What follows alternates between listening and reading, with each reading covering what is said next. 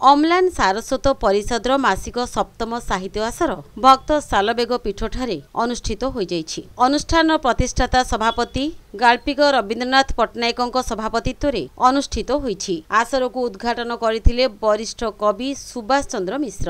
ମୁଖ୍ୟ ଅତିଥି ଭାବରେ ଶ୍ରୀକ୍ଷେତ୍ର ଲେଖକ ସାମୁଖ୍ୟର ସମ୍ପାଦକ କୃଷ୍ଣଚନ୍ଦ୍ର ରଥ ମୁଖ୍ୟ ବକ୍ତା ଭାବରେ ଅନୁରାଗ ସାହିତ୍ୟ ସଂଗୋଷ୍ଠୀର ସଭାପତି ବିଜୟ ଲକ୍ଷ୍ମୀ ଦାସ ସମ୍ମାନିତ ଅତିଥି ଭାବରେ ପ୍ରିୟପତ୍ରର ସମ୍ପାଦକ ବିପିନ ବିହାରୀ ଦଳାଇ ମଞ୍ଚାସୀନ ଥିଲେ। ପ୍ରାରମ୍ଭରେ ବାଗ୍ଦେବୀ ସରସ୍ୱତୀଙ୍କ ଶ୍ରୀ ପାଦ ପଙ୍କଜରେ ଉପସ୍ଥିତ ସାରସ୍ୱତ ସ୍ରଷ୍ଟାଗଣ ଭକ୍ତି ନୈବେଦ୍ୟ ଅର୍ପଣ କରିବା ସହିତ ବରିଷ୍ଠ କବି ପଣ୍ଡିତ ସଦାଶିବ ମିଶ୍ର ବେଦ ପାଠ କରିଥିଲେ। ଏହି ପବିତ୍ର ଅବସରରେ ଓଡ଼ିଶା ସାହିତ୍ୟ ଏକାଡେମୀର ପ୍ରାକ୍ତନ ସଭାପତି ଶବ୍ଦ ସମ୍ରାଟ କାବ୍ୟ ପୁରୁଷ ଶ୍ରୀକ୍ଷେତ୍ରର ବରପୁତ୍ର ଦିବଙ୍ଗତ କବି ହରିହର ମିଶ୍ରଙ୍କ ଉଦ୍ଦେଶ୍ୟରେ ଦୁଇ ମିନିଟ୍ ନିରବ ପ୍ରାର୍ଥନା କରାଯାଇଥିଲା। ଅନୁଷ୍ଠାନର ସମ୍ପାଦକ ସୁରେଶ କୁମାର ପଟ୍ଟନାୟକ ଗତ ମାସରେ ଅନୁଷ୍ଠିତ ମାସିକ ଆସରର ସମ୍ପାଦକୀୟ ବିବରଣୀ ପାଠ କରିଥିଲେ। ତ ଜାତୀୟ ପୁରସ୍କାର ପ୍ରାପ୍ତ ପ୍ରାକ୍ତନ ଶିକ୍ଷୟିତ୍ରୀ ସୁଶ୍ରୀ କୃଷ୍ଣା ମହାପାତ୍ର ଜାତୀୟ ପୁରସ୍କାର ପ୍ରାପ୍ତ ଶିକ୍ଷୟିତ୍ରୀ କବି ଚାରୁଲତା ମିଶ୍ରଙ୍କ ସଂଯୋଜନା କ୍ରମେ ବରିଷ୍ଠ କବି କାଶୀନାଥ ଖୁଣ୍ଟିଆ ଶିକ୍ଷାବିତ ସଦାଶିବ ମିଶ୍ର ସୁଲେଖାର ସମ୍ପାଦକ ସଦାଶିବ ମିଶ୍ର ରବୀନ୍ଦ୍ରନାଥ ପଟ୍ଟନାୟକ ବିଜୟଲକ୍ଷ୍ମୀ ଦାସ ବିପିନ ବିହାରୀ ଦଳାଇ ପଣ୍ଡିତ ସଦାଶିବ ମିଶ୍ର ଦାମୋଦର ମହାନ୍ତି ମହେଶ୍ୱର ଜେନା ଶର୍ମିଷ୍ଠା ଜେନା ମିନତୀ ମିଶ୍ର ଆଶାଲତା ପ୍ରଧାନ ରେଣୁବାଳା ଦଳାଇ ଡାକ୍ତର ରାନୁ ମିଶ୍ର ରୋଜାଲିନ ପଣ୍ଡା କୃଷ୍ଣଚନ୍ଦ୍ର ରଥ ରାଧାକୃଷ୍ଣ ପ୍ରଧାନୀ ଡାକ୍ତର ପ୍ରମିଲ କୁମାର ନନ୍ଦ ସତ୍ୟଭାମା ନାୟକ ଯୋଗେଶ୍ୱର ନାୟକ ଯୋଗେଶ୍ୱର ପ୍ରହରାଜ ପ୍ରମୁଖ ସ୍ୱରଚିତ କବିତା ପାଠ କରିଥିଲେ। ସଭାକୁ ପରିଚାଳନା କରିଥିଲେ ସୁଲେଖା ସାହିତ୍ୟ ପରିଷଦର ସମ୍ପାଦକ ସଦାଶିବ ମିଶ୍ର। ଶେଷରେ ଧନ୍ୟବାଦ ଅର୍ପଣ କରିଥିଲେ ଅମ୍ଲାନ ସାରସ୍ୱତ ପରିଷଦର ସମ୍ପାଦକ ସୁରେଶ କୁମାର ପଟ୍ଟନାୟକ। ଆପଣ ନାଁ କୁହନ୍ତୁ ଆମେ କ'ଣ ଅଛନ୍ତି? ମୋ ନାଁ ହେଉଛି ରବୀନ୍ଦ୍ରନାଥ ପଟ୍ଟନାୟକ। ମୁଁ ହେଉଛି ଅମ୍ଳାନ ସାହିତ୍ୟ ସଂସଦର ସଭାପତି।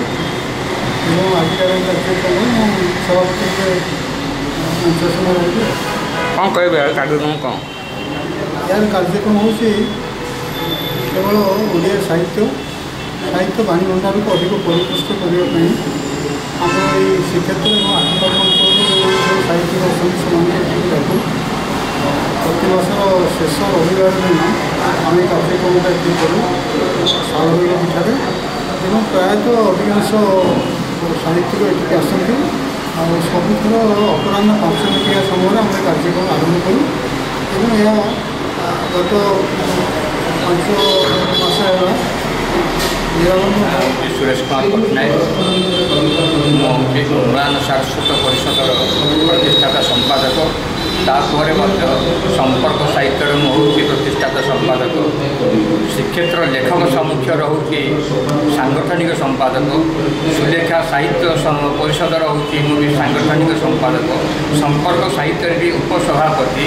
ଏବଂ ବର୍ତ୍ତମାନ ବି ସାହିତ୍ୟ ସଂସଦର ସହ ସମ୍ପାଦକ ହେବା ଉପରେ ଆମର ଏଇ କବିତା ଆସର ଏଇ ଯେଉଁ ସଂସ୍ଥାଟି ହେଲା ତା ନାଁ ହେଉଛି ଅମ୍ଳାନ ସାହିତ୍ୟ ପରିଷଦ ବହୁତ ଭାବିଚିନ୍ତିକିରି ଆମେ ନାଁଟି ଦେଇଛୁ ଏବଂ ଏଇଠି ଆର ବର୍ଷ ଅବଶ୍ୟ ତାରିଖ ମୋ ଖାତାରେ ରହିଯାଇଛି ମୁଁ କହିପାରୁନି କିନ୍ତୁ ଆର ବର୍ଷ ସରସ୍ୱତୀ ପୂଜା ଦିନ ଆମର ଏଇଠି ଆରମ୍ଭ ହୋଇଥିଲା ମାଆଙ୍କର ପଞ୍ଚମୀ ତିଥି ପବିତ୍ର ତା- ଆମର ଆରମ୍ଭ ହୋଇଥିଲା ଏବଂ ଆମର ସିଦ୍ଧାନ୍ତ ହେଇଛି ଯେ ମାସର ପ୍ରଥମ ରବିବାରଟା ହେଉଛି ସମ୍ପର୍କ ସାହିତ୍ୟର ଏବଂ ସଭା ଶେଷ ରବିବାରଟା ହେଉଛି ଅମ୍ଳାନ ସ- ସାରସ୍ୱତ ପରିଷଦର ଆଉ ମଝିରେ ଯେଉଁ ପନ୍ଦର ତାରିଖଟା ରହିଲା ସିଏ ହେଉଛି ଶ୍ରୀକ୍ଷେତ୍ର ଲେଖ- ମ- ଶ୍ରୀକ୍ଷେତ୍ର ସାହିତ୍ୟ ସଂସଦର କାରଣ ମୁଁ କହିବା କଥା ଅନ୍ୟ ଅନୁଷ୍ଠାନର ନାଁ କହିବା ଅର୍ଥ ଶ୍ରୀକ୍ଷେତ୍ର ସାହିତ୍ୟ ସଂସଦ ଶ୍ରୀକ୍ଷେତ୍ର ଲେଖକ ସାମୁଖ୍ୟ ସୁଲେଖା ସାହିତ୍ୟ ପରିଷଦ ଅମ୍ଳାନ ସା- ସାରସ୍ୱତ ପରିଷଦ ଏବଂ ସମ୍ପର୍କ ସାହିତ୍ୟ ଇଏ ପାଞ୍ଚ ଜଣ ଯାକ ଗୋଟିଏ ସୂତ୍ରରେ ବନ୍ଧା।